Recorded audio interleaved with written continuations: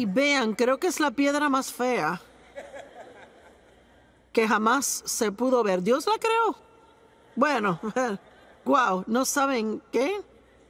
Así somos muchos de nosotros en el exterior.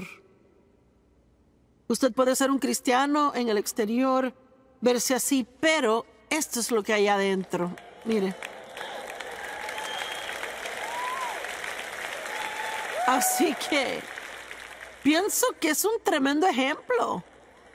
Es, mira, Dios, tú tienes que estar bromeando. ¿Cómo puede ser algo tan feo por fuera y tan bello por dentro?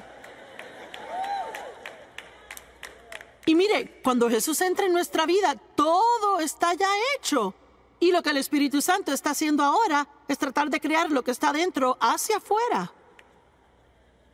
Traerlo para que el mundo lo vea y que reciba algo bueno y beneficioso. Y va a ser un poco doloroso cuando él comience a romper el exterior.